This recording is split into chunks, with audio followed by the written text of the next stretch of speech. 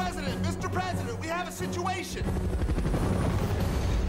Once again, a UFO has landed in America. The only country UFOs ever seem to land in. No one knows what it is or where it came from.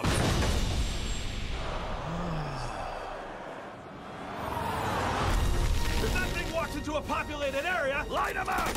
There will be a major catastrophe. Somebody think of something President, not only do I have an idea, but I have a plan. We're getting pummeled down here! We need a Hail Mary pass. Full retreat, full retreat. We need raw power. We need monsters.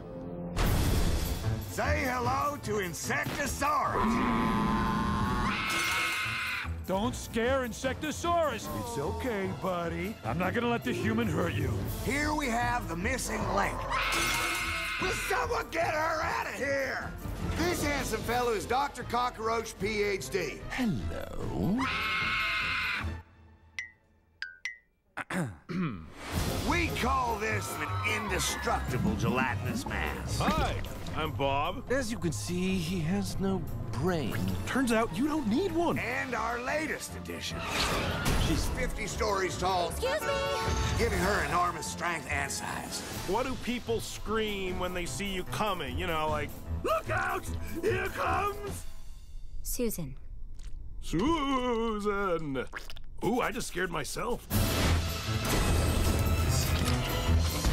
Don't worry, we have it all under control. Forward!